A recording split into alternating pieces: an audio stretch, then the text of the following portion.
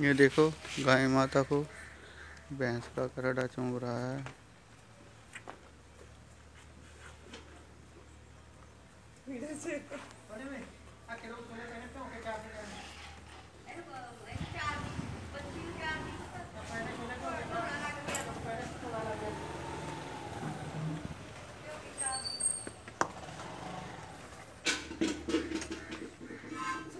तो हाँ।